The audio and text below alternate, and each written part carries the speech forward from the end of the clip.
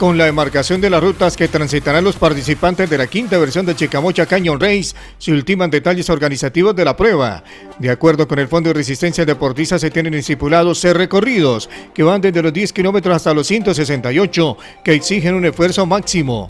No, pues estamos en los últimos 15 días y como siempre el tiempo es corto.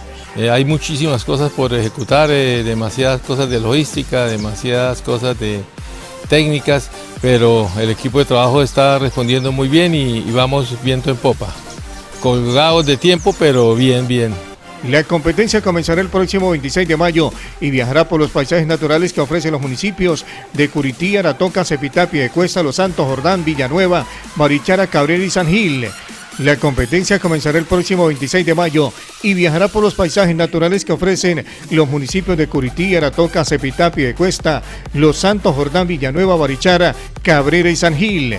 En cada camino de Raúl y población habrá mil historias por contar, pues la cultura, la historia y la topografía se mezclarán para cautivar a propios y visitantes.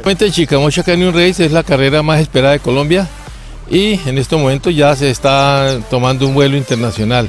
A nivel nacional tenemos unos 400 inscritos, superando más de un 25% las inscripciones del año pasado.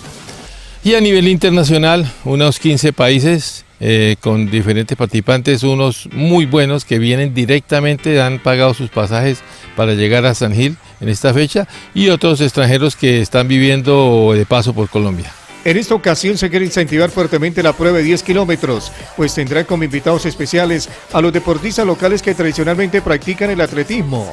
La gente de la provincia y los angileños entren a participar no solamente como observadores y dando el impulso que necesitan los otros corredores, sino que ya entren a vivirla. Hemos diseñado una ruta de 10 kilómetros que sale desde el parque principal el domingo a las 9 de la mañana hace un recorrido por la vía del aeropuerto tomando las carreteras y algunos caminos y regresa nuevamente hasta el parque principal eh, a encontrarse con los corredores de las demás categorías que en ese momento están llegando e integrarse en la gran fiesta que estamos, vamos a hacer en ese momento.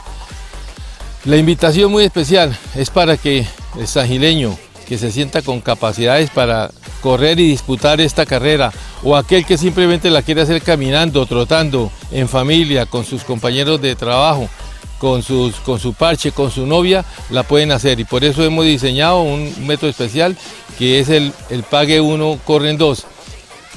Hacemos una inscripción de uno de los corredores sangileños y pueden correr dos con las mismas características como si se hubiera inscrito oficialmente. Ha sido tanto en empatía los angileños con su carrera de ultrarresistencia, que hoy por hoy son protagonistas de primer orden en los 21 y los 42 kilómetros, media maratón y maratón, respectivamente.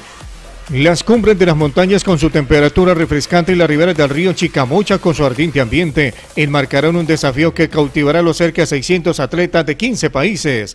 Bienvenido al deporte extremo por las breñas santanderianas.